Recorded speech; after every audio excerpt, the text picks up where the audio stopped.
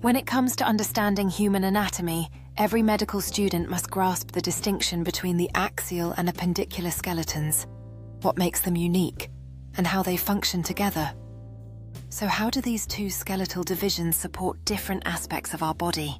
The axial skeleton serves as the central framework of the body, protecting vital organs like the brain and heart, while the appendicular skeleton supports movement and interaction with the environment.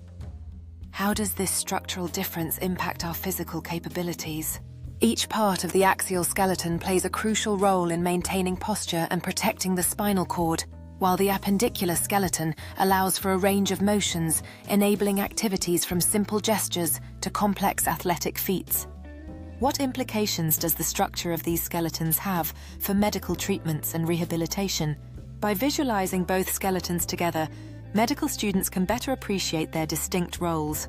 The axial skeleton is like the body's fortress, while the appendicular skeleton provides mobility and manipulation.